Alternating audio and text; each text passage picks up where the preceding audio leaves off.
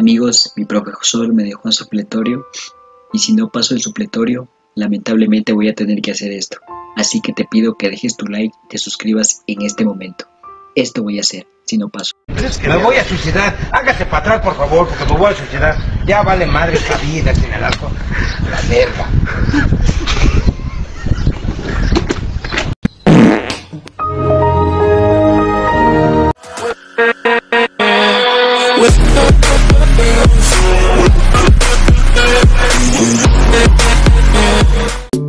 Su, su, suscríbete y dale like si quieres. Su, su, suscríbete y dale like si quieres. Ni, ni, no, ni. No, ni, no, ni, no, ni. Ni, ni, ni, no, ni.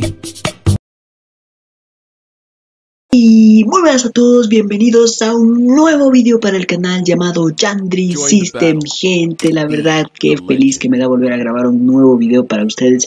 Yo sé que ustedes se han de preguntar, ¿por qué subes video a la semana? Pues espérate, no te muevas de ahí que te lo voy a explicar. Pasa, resulta, sucede que mi profesor me dejó a supletorio Sí, ahora estoy estudiando para poder pasar. Pero bueno gente, eso no va a arruinar este video ya que pues como lo viste en el título, el día de hoy te voy a enseñar a cómo vas a configurar tu emulador. En primer lugar, para aumentar los FPS. En segundo lugar, para jugar eh, ya sea con calidad estándar o ultra para PCs de 4 GB de RAM si tienes 8 pues obviamente te va a funcionar también y si tienes de 2 pues te recomiendo jugar en suave pero bueno en este video te lo voy a explicar así que te pido que te acomodes dejes tu like te suscribas mires el video completo para que obviamente después vayas y lo repliques Obviamente si tienes una PC de 4 de RAM te va a servir de muchísimo gente, así que bueno, no tengo nada más que decirles, así que empecemos con este video. Antes que nada quiero que sepan que ya estamos a punto de llegar a los 6000 suscriptores, así que si te suscribes me ayudarías de muchísimo, ya sabes que tú puedes ser ese suscriptor 6000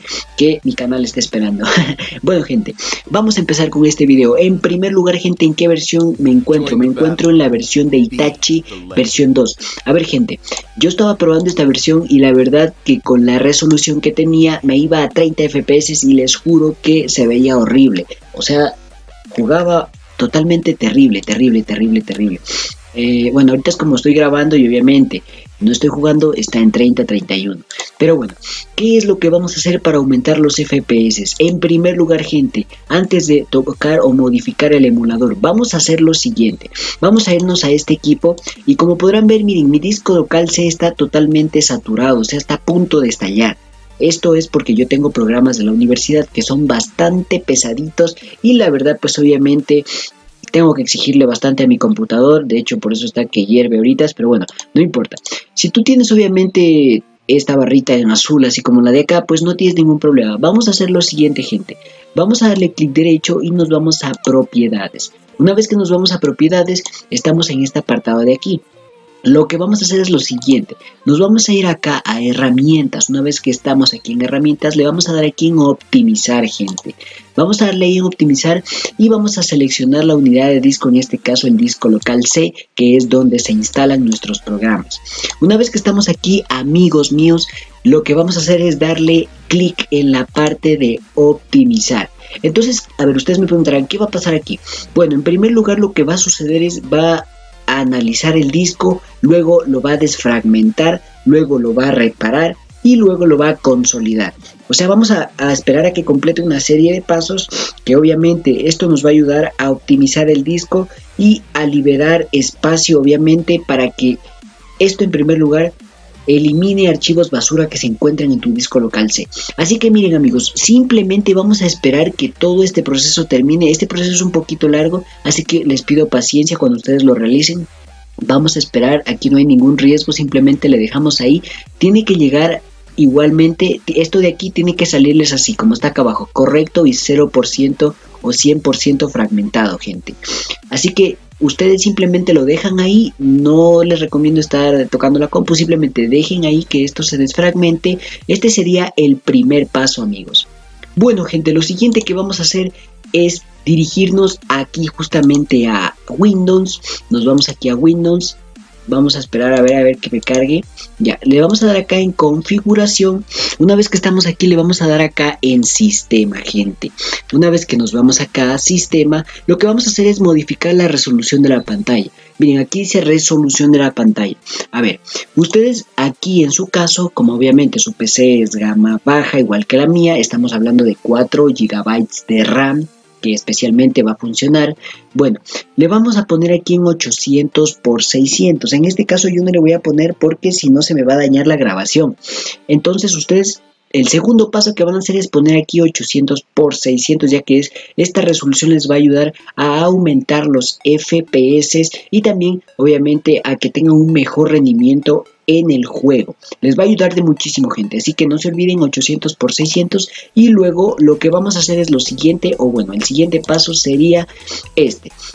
Vamos a ir al emulador a ver gente, como les decía, vamos a irnos aquí a los ajustes y vamos a irnos acá avanzados y nos vamos a ir acá a donde dice custom o personalizado de bueno cuando ustedes instalan el emulador este les viene una resolución de 1280 pero estas resoluciones bajan demasiado los fps cuando tenemos una pc gama baja eh, ¿por qué les digo esto? porque yo ya lo probé ya lo testé y les juro que me iba súper lagueado con o sea, lagueado y obviamente me bajaba los FPS terribles en estas resoluciones de aquí.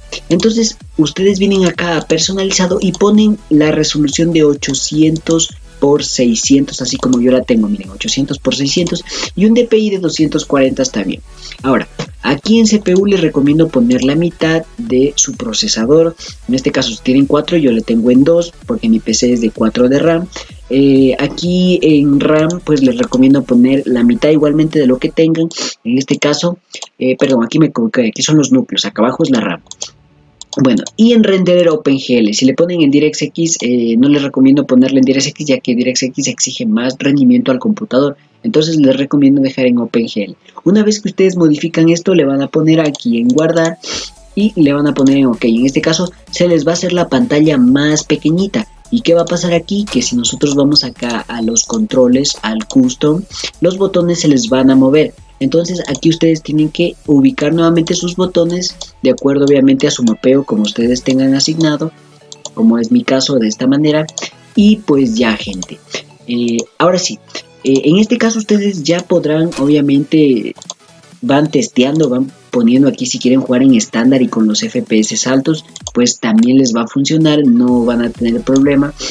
Pero yo les recomiendo eh, jugar en suave.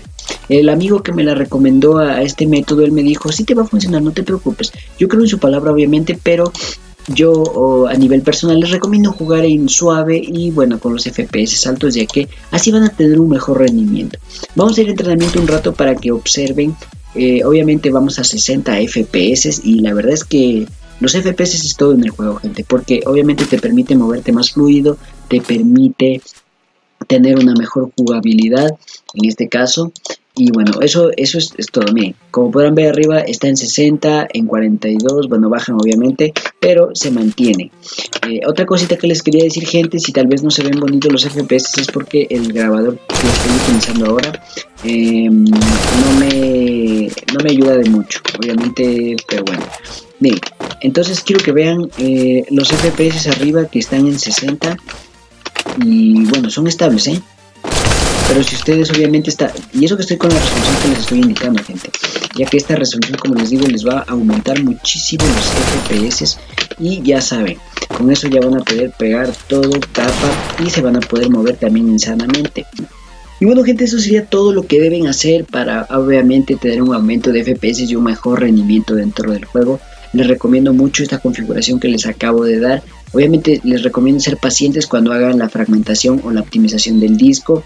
Les recomiendo ser pacientes cuando vayan a, cambiar la resolución de la pantalla y también del emulador. Yo les voy a dejar la versión de Itachi aquí en la descripción o en el comentario fijado para que la descarguen y obviamente la prueben de esta manera. Pero obviamente si tú tienes una versión de Smart Gaga y quieres probar esta resolución o estos tips que te he dado, pues bienvenido sea. Y nada, gente, esto sería todo. Espero que les guste, les sirva. No olviden dejar su like y suscribirse ya que estamos a punto de ser 6000 personas en YouTube. Y nada, mi gente, los amo mucho en serio. Gracias por entender todo esto que pues ahora no he estado muy activo. Pero ya saben, Yandri Junior en lo alto. Gracias mi gente por su apoyo, los quiero. Chao, chao.